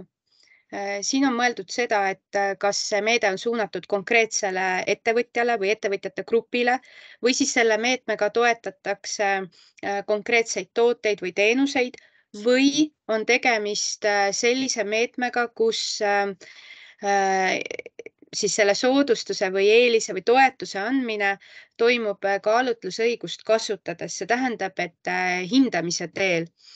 Ja, ja kättesaadavate avalike teenuste meetmes on ka see tingimus jällegi täidetud. kolmas nõue, et meede peab siis abisaajale andma majandusliku eelise. Äh, siinkohal tuleb äh, esmajärjekorras hinnata seda, et kas siis abisaaja tegeleb majandustegevusega. majandustegevuseks loetakse mis tahes tegevust, äh, mis seisneb siis kaupade ja teenuste turul pakkumises ja sellist ähm, avalike teenuste pakkumist, mille pakkumise kohustus tuleneb õigusaktidest ja on riigi olulise funktsioonina käsitletav, siis äh, neid loetakse avaliku võimu teostamiseks ja need ei pakugi majanduslikku eelist. ja, ja siis sellega koos ei kaasne ka riigiabi siinkohal võib-olla on oluline meeles pidada, et ähm, abisaaja juriidiline vorm ei oma tähtsust, et Äh, abisaajaks ja majanduslikku eelist äh, ja sealhulgas ka majandustegevusega võib tegeleda nii kohaliku omavalitsuse üksus, mittetulundusühing, äh, sihtasutus, et kõikvõimalikud isikud. oluline on lihtsalt see, et see isik pakub siis oma kaupu ja teenuseid turul ja majanduslik eelis on siis igasugune Äh, igasugune majanduslik kasu, mida siis ettevõtja ei oleks saanud tavalistes turutingimustes. Äh, siin äh, all käivad igasugused toetused koolitustel osalemiseks, investeeringutoetused, kui riigi vahenditest korrastatakse mõni hoone või taristu, et ühesõnaga kõik, kõik sellised asjad ja, ja kui seda tingimust analüüsida, et äh, siis äh, tuleb hinnata plaanitud tegevusi ja selle tuleviku mõju nii äh, siis taotleja enda, partnerite kui ka siis projektiväliste isikute tasandil, kes küll osa, otseselt projektis ei osale, kuid keda siis projekti tegevused mõjutavad neljandaks tingimuseks on see, et abimeede moonutab või võib moonutada konkurentsi ja kaubandust. Ja, ja selle tingimuse puhul on tegemist siis nõudega, mida üldjuhul loetakse täideta, täidetuks, kui abi tugevdab või siis parandab abisaaja positsiooni võrreldes tema konkurentidega. Ja, ja nii kui abisaaja osaleb vabas konkurentsi tingimustes oma majandustegevusega, et siis tegelikult võib ka öelda, et meede mõjutab, mõjutab kindlasti kaubandust ja võib ka moonutada konkurentsi. Siin ei ole oluline see, et abisaaja ise osaleb vahetult piiri, piiriüleses tegevuses, et see mõju võib ka olla siis ühesuunaline selliselt, et siseriiklikku turgu tugevdatakse nii, et piiriüleselt teenusepakkujad või, või, või ettevõtjad ei saa oma majandustegevusega siia laieneda. ja samamoodi ei, ei olene see ka, ei ole olene ka see abi summast, et, et mida väiksem abisumma, et ei saa öelda, et, et siis see ei moonutaks üldse konkurentsi või kaubandust. Pille, sa võid edasi liikuda. et äh, siin kõlas ka mõiste üldist majandushuvi pakkuv teenus. et korra seletada lahti, et, et mida sellel mõista, et see on siis selline majandustegevus, millega luuakse üldist avalikku hüve Eh, mida ilma avaliku sektori sekkumiseta turule ei pakutaks või kui pakutaks, siis nende pakkumise tingimused, teenuse kvaliteet, hinnatase ja ka kättesaadavus oleksid väga erinevad. ja siin on nagu oluline meeles pidada, et see käsitlus liikmesriigiti on erinev et kui te teate, et kuskil liikmesriigis on mingit teenust loetud üldist majandushuvi pakkuvaks teenuseks, siis äh, see ei laiene automaatselt Eestile, et, et siin me peame hindama nagu siseriiklikke reegleid, et, et kuidas ta siin õigusruumis äh, nagu äh, on defineeritav. Ja üldist majandushuvi pakkuv teenus allub riigiabi reeglitele välja arvatud, kui on siis täidetud kõik ähm, äh, altmärki kaasuse kriteeriumid, tegemist on ühe Euroopa Kohtu lahendiga, kus kohus äh, Äh, nimetas need kriteeriumid, mille puhul, et kui need on täidetud, et mille puhul saab öelda, et riigiabi ei kaasne. lühidalt öeldes on siis äh, avaliku teenindamise kohustus peab tulenema ja, ja hüvitis, mis selle äh, kohustuse täitmisega siis kaasneb, peab olema objektiivne ja läbipaistev, vastama siis kantud kuludele, võib olla ka kaasatud mõistlik hüvitis ja ta peab olema võimalikult soodne siis üldsuse jaoks. sisuliselt tähendab see äh, hanke läbiviimist. Äh, sa võid edasi liikuda. Äh, nüüd üks variant, et kui te olete tuvastanud, et teil on projekti tegevustega kaasneb ilmselt riigiabi, et ähm, kõige parem võimalus või variant on, on sellega saada riigiabi sest ähm, me pärast räägime ka, et, et vähese tähtsusega abi on lihtsalt niivõrd vähe ja seda kulub ka mujale. et riigiabi äh, tingimused on küll äh, väga ranged ja piiratud, aga see äh, nii-öelda abi suurus on, on pisut nagu ikkagi arvestatavalt isegi suurem. ja on siis kolm artiklit, mida kättesaadavate avalike teenuste meetmes võib kasutada. esimene on siis üldise grupierandi määruse artikkel viiskümmend kolm. tegemist on siis kultuuri edendamiseks ja kultuuripärandi säilitamiseks äh, mõeldud äh, tegevustele antava äh, abiga ja seal on lubatud siis investeeringud ja tegevusabi toetuse maksimaalne määr on äh, selles äh, määruse artiklis viiskümmend kolm äh, toodud. on kaks varianti, kas kasutada metoodikat mm, tegevuskasum ja kulu või siis kohaldada, mm, minu meelest oli seal kaheksakümmend protsenti, aga et kuna kättesaadavate avalike teenuste meetme määrus ise näeb ette väiksema määra, et, et siis et siis arvestage, et see üldise grupierandi maksimaalne määr ei anna teile alust nagu suuremaks toetuseks, et ikkagi kahte, kahte õigusakti tuleb alati koos lugeda veel on võimalik anda siis artikli viiskümmend viis alusel, mis on mõeldud spordi ja mitmeotstarbelise vaba aja veetmise taristule. jällegi on abikõlblikud seal investeeringud ja tegevusabi ja sarnaselt äh, eelmise abiliigile on siis ähm, toetuse maksimaalne määr jällegi äh, kahe variandina arvutatav, aga igal juhul, äh, kui te ei taha seda pikka metoodikat, tulu-kulusid seal rehkendada, siis kui ta läheb, äh, minu meelest oli kaks miljonit eurot äh, abikõlblike kulude maksumus, et siis, äh, siis on võimalik kasutada ka seda määra, mis seal on toodud, aga noh, jällegi peab kõrvale vaatama siseriiklikku meetme määrust. ja siis on olemas artikkel viiskümmend kuus, mis on mõeldud kohalikule taristule investeeringuteks ja see on eelkõige siis ettevõtlikkuse suunaga investeeringud ja siin on küll nüüd see koht, et äh, toetus ei tohi ületada abikõlblike kulude investeeringu tegevuskasumi vahet.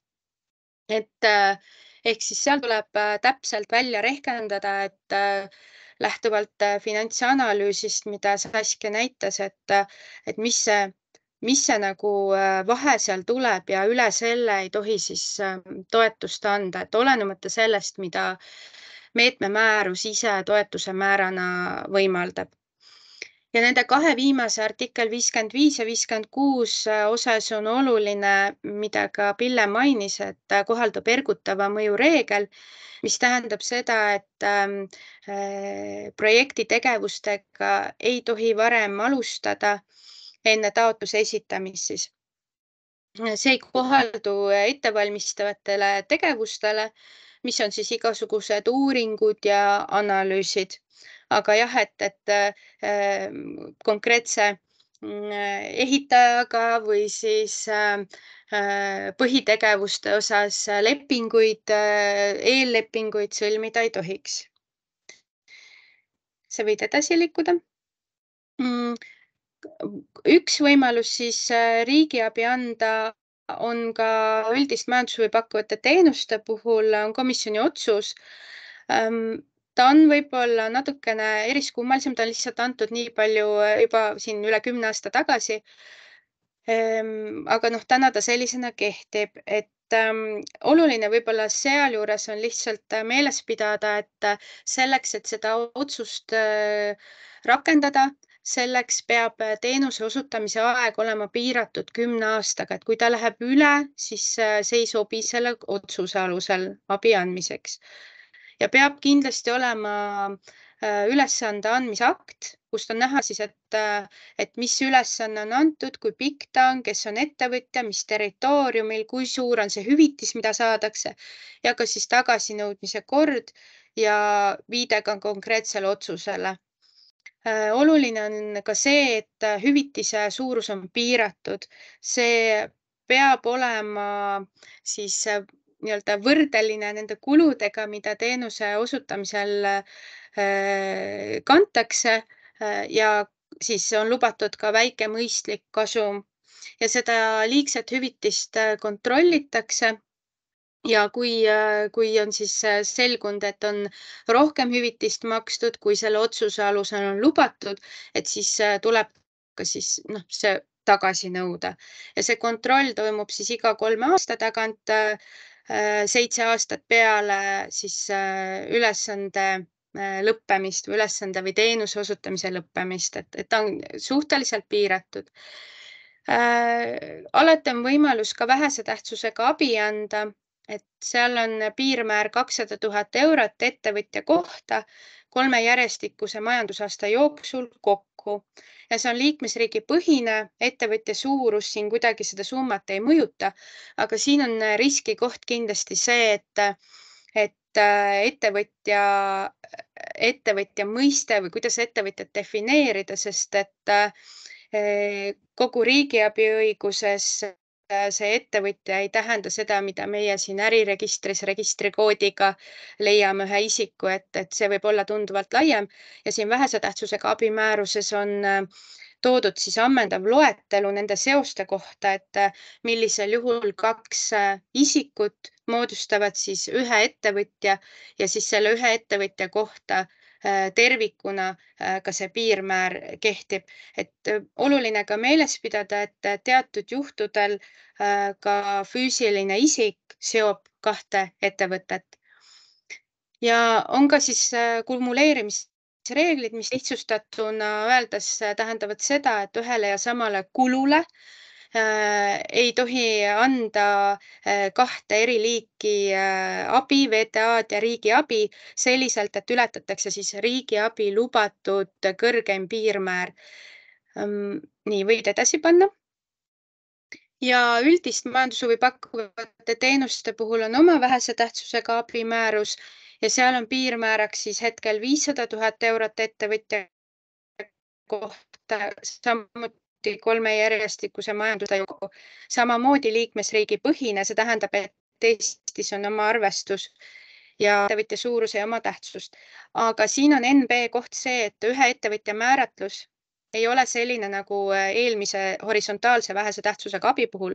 siin ei ole toodud ammendavat loetelu hetkel, mis tähendab seda, et et ta läheb üldise käsitluse järgi äh, selliselt, et äh, üheks ettevõtjaks loetakse äh, maja, majandusüksust ehk siis mitu ettevõtet, kes on omavahel siis seotud ähm, majanduslike sidemetega ja nad saavad omavahel siis põhimõtteliselt valitsevat mõju ähm, nii-öelda rakendada ja kumuleerimisreeglite puhul äh, kehtib sarnane nõue, nagu ma ennem rääkisin horisontaalse vähese tähtsusega abi puhul. aga on oluline ka see, et äh, kui äh, teenusele juba antakse hüvitist, siis topelt hüvitist saada enam ei tohi, olenemata sellest, mis summa see on.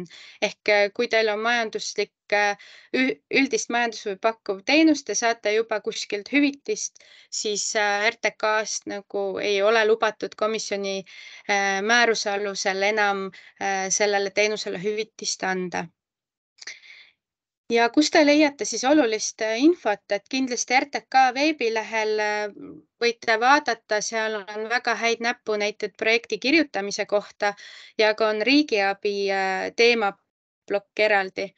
Ja seal on minu tänast, tänasest jutust pikemalt lahti kirjutatud. Need nõuded, aga hea abimaterjal on kindlasti ka Rahandusministeeriumi veebilehel riigihangete ja riigiabi jaotuses, kus te saate ka tegelikult riigiabi registri äh, nii-öelda äh, lingiga kontrollida, et kui palju on vähese tähtsusega abi ja muid abisid saadud. ja kui tekib küsimus, et, ähm, et kas tegevust lugeda riigiabiks või mitte, siis infot kindlasti saab ka lugeda komisjoni teatisest riigiabi mõiste kohta, seal on hästi palju näiteid. tegemist ei ole sellise tavapärase kuiva õigusaktiga, aga, aga tõesti, ta on niisugune kirjeldav tekst et tasub lugeda, aga mina tänan, aitäh. aitäh sulle, Katri. kas on Katrile tulnud küsimusi? Reelika, oled sa saanud silma peal hoida? Katrele ei ole tulnud küsimusi, aga teiste teemade kohta on tulnud küsimusi. hästi, aga teeme praegu nii, et äh, Kristel, kas sina oled meiega?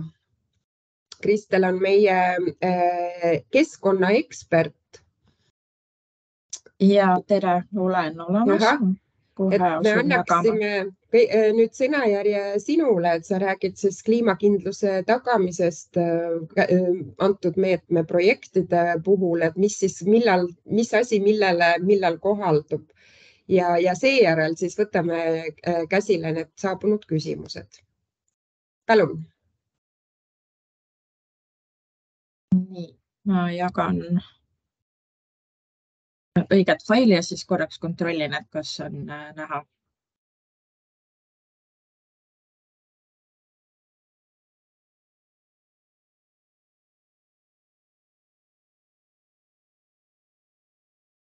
ja nüüd on hästi Nii. näha. on õige vaade mm? -hmm. õige jah, äh, tutvustan siis äh, antud meetme puhul keskkonna valdkonnaga seotud nõudeid ja peatun lühidalt ka sellisel põhimõttel nagu Euroopa uus Bauhaus, mis on selle meetme puhul ka üheks valdkonnaks või uuenduseks, mida peaks silmas pidama siis tegevuste kavandamisel. Nüüd kõigepealt räägin siis ei kahjusta oluliselt põhimõttest, et määruses on see siis toodud välja kui üks kriteerium, millele toetatavad tegevused peavad vastama. ja sisuliselt tähendab see siis nii-öelda horisontaalset tingimust, mis kohaldub kõikidele struktuurivahenditest rahastatavatele tegevustele ja mis tuleneb siis algselt roheleppest, aga on kirja pandud siis äh, lühi, lühi, lühendatult siis ühissätete määrusesse äh, tingimusena, et siis fondide eesmärkide saavutamiseks äh, tuleb siis tegutseda kooskõlas ei kahjusta oluliselt põhimõttega. sellele lisandub ka tingimus, et kõik toetatavad tegevused peavad äh, vastama ka keskkonnaalastele õigusaktidele. Äh, ingliskeelne termin on do no significant harm ehk siis kasutatakse ka lühendit DNSH, et kui see kuskilt dokumentidest äh, on lühendina kasutusel, siis tegemist on sisuliselt sama mõistega. ja oluline on siis silmas pidada, et seda põhimõtet järgitakse projektide rakendamisel ehk elluviimisel ja see tähendab siis äh, nii-öelda kahju vältimist erinevatele keskkonnaeesmärkidele, mis on siis äh, loetletud sellel slaidil ja kirjas ka siis Euroopa Liidu õigusaktides ehk äh, kuus erinevat keskkonnaeesmärki. ja majandustegevused, kas siis peavad panustama ühte või mitmesse keskkonnaeesmärki või siis alternatiivselt ei tohi kahjustada vähemalt mitte ühtegi keskkonnaeesmärki esimene äh, on siis kliimamuutuste leevendamine, mis tähendab siis äh, äh, nii-öelda süsiniku jalajälge ja, ja selle nii-öelda vähendamist.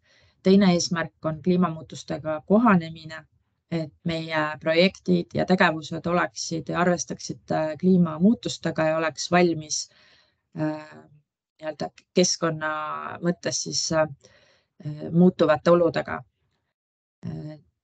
kolmas eesmärk on vee ja mereressursside kestlik kasutamine ja kaitse. neljas on üleminek ringmajandusele ja jäätmetekke vähendamine ning ringlussevõtt. viies punkt on siis erinevate saasteallikate vältimine, vähendamine ja tõrje ning, ning kuues on elujõulised ökosüsteemid ehk siis liigirikkuse kaitse ja siis nii-öelda taksonoomia määrus on siis see õigusakt, kus on kirjeldatud need äh, kuus keskkonnaeesmärki ja on ka öeldud, et millises olukorras siis äh, nad äh, kahjustavad keskkonda. ehk kliimamuutuste leevendamise puhul räägime me siis olulisest kasvuhoonegaaside heitest ehk projekt või tegevus ei, ei tohi põhjustada suurt kasvuhoonegaaside heidet. Teiseks on siis kliimamuutustega kohanemine, kus ei tohi siis äh, halveneda äh, nii-öelda lähipiirkonna seisund selliselt, et äh, ta saaks kahjustatud kliimamuutustest. Ja see, millised on siis need võimalikud kliimamuutuste stsenaariumid, need on riiklikus kavas ka paika pandud Äh, alusuuringutega, aga lisaks on kohalikel omavalitsustel kas koostatud või koostamisel ka kohalikud äh, kliimakavad, mis peaksid siis hõlmama ka neid stsenaariume, mida saab siis aluseks võtta äh, nende riskide kaardistamisel või, või hindamisel. vee ressursside kasutuse tingimus tähendab seda, et siis projektid või tegevused ei Äh, kasutaks väga suures koguses vett äh, või siis ei põhjustaks äh, nii-öelda saastet ehk siis vesi, mis läheb tagasi keskkonda, oleks võimalikult puhas ja, ja ei kahjustaks siis pinna või põhjavee head seisundit. ringmajandus on ka oluline valdkond, et kõiksugune materjalide ebatõhus kasutamine ei tohiks olla projektide osaks, vaid pigem ikkagi taaskasutamine, kvaliteetsete materjalide, ohutute materjalide kasutamine. Äh, samuti siis äh, sellised jäätmetega seotud tegevused, äh, mis soodustavad kuidagi siis jäätmete kõrvaldamist, ei oleks ka toetatavad. saastamise puhul tuleb silmas pidada, et ei oleks projektis hõlmatud siis fossiilkütustega kasutus otseselt, et, et ei tohiks tekkida samuti siis äh, Äh, täiendavat saastekoormust õhku, vette või pinnasesse. Äh, selles mõttes, mis on siis nagu oluline koormus, et mingisugune mõju võib tegevusel ikkagi keskkonnale olla, aga see ei tohi olla siis äh, oluline. ja elurikkuse poole pealt ei tohi kahjustada siis ökosüsteemide head seisundit. pigem kuna selles meetmes tuleb arvestada horisontaalsete põhimõtetega Äh, niikuinii ja lisaks veel ka Bauhausi väärtustega, siis tegelikult äh, võiks pigem ette näha, et see panus tulenebki ka elurikkuse äh, suurendamisse läbi siis toetatavate tegevuste, kus, kus on siis asjakohane. nüüd, millised on taotleja kohustused? toetuse andmise tingimustes on kirjas, et siis koos taotlustega tuleb esitada siis hinnang selle kohta, kas toetatavad tegevused äh, on kooskõlas ja ei kahjusta oluliselt põhimõttega.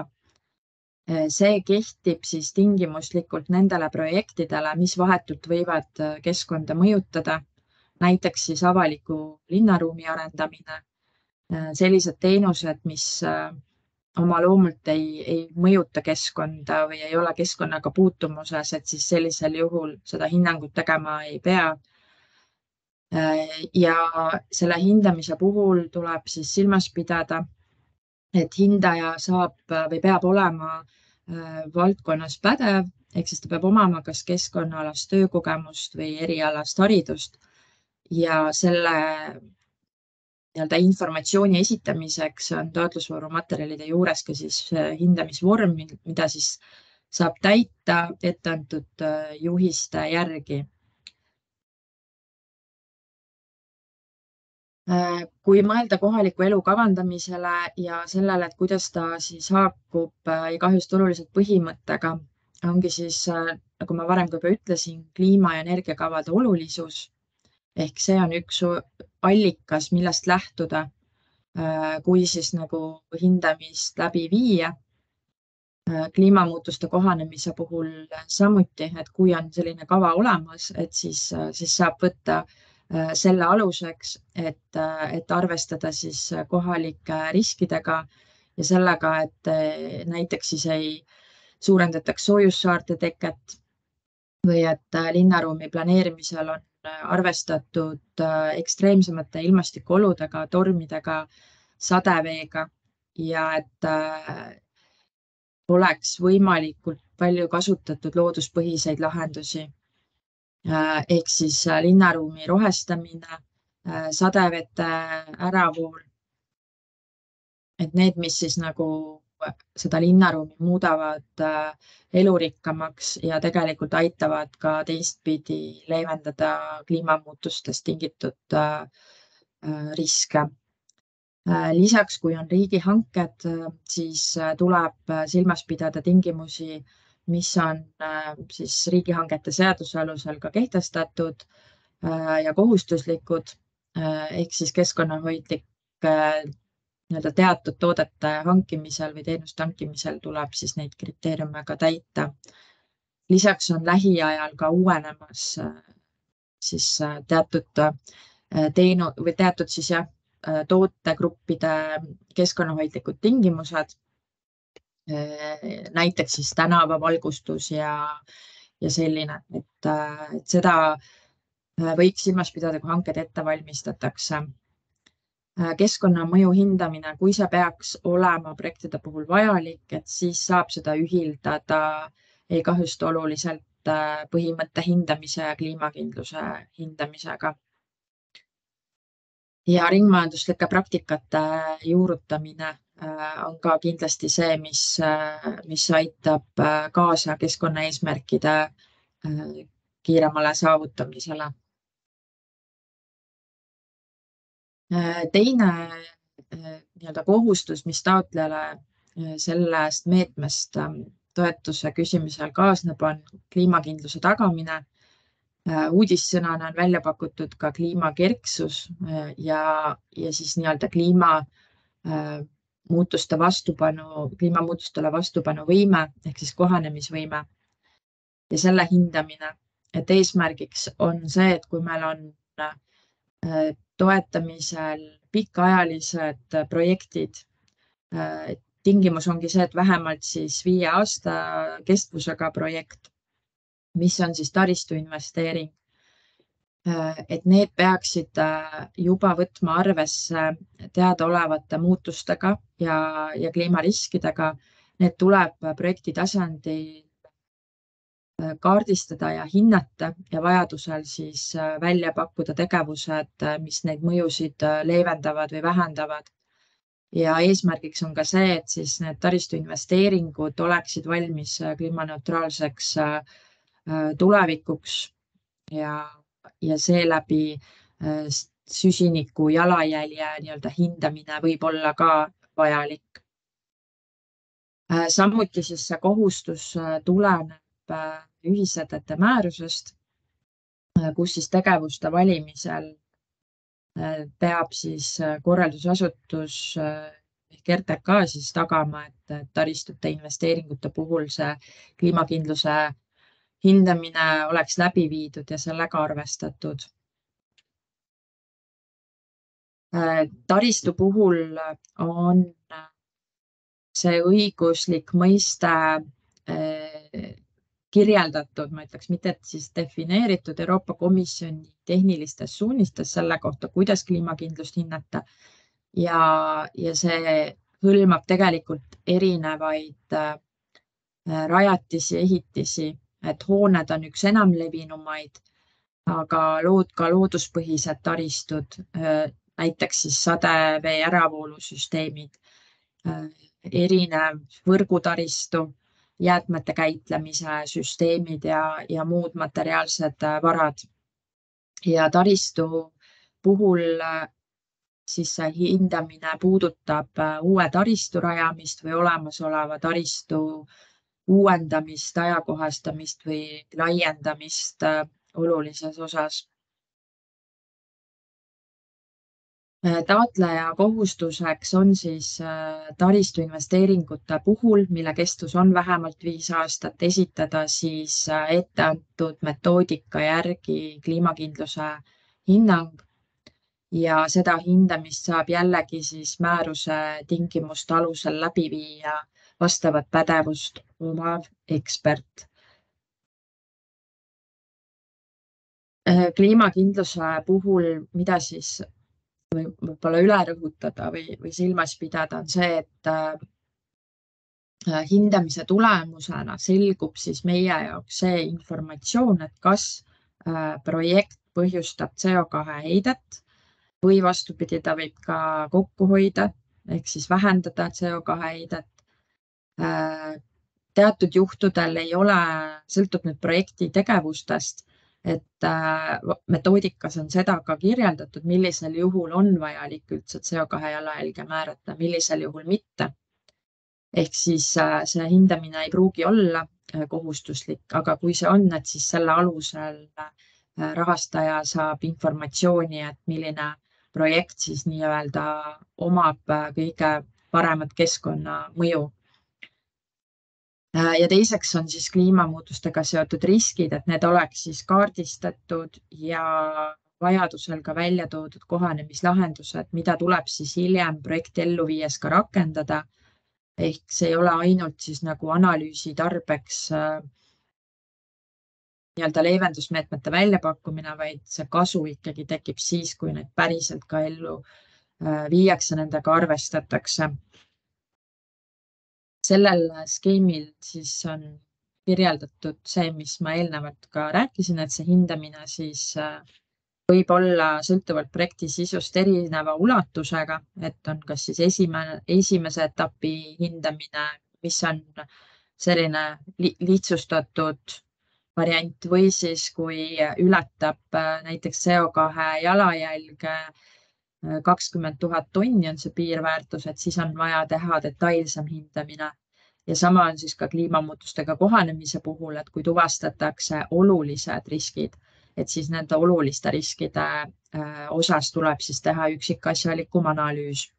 aga kuna see metoodika on võrdlemisi spetsiifiline, siis sellepärast on ka kehtestatud tingimused, et seda hindamist saab teha vastava nii-öelda keskkonnaalase pädevusega spetsialist või ekspert. et äh, kliimakindluse suunised võtavadki arvesse seda, et see peaks olema proportsionaalne toetatava tegevuse suhtes, ehk siis see hindamine on võib-olla kas ühes etapis või kahes etapis, sõltuvalt projekti mõjust. ja kõige kasulikum on see, kui juba see analüüs äh, tehakse ikkagi projekti algusfaasis ehk planeerimistegevustega koos, et siis see aitab vältida äh, nii-öelda asjatuid äh, kulutusi äh, ja teisalt juba tegelikult need lahendused ka sinna projekti sisse arvestada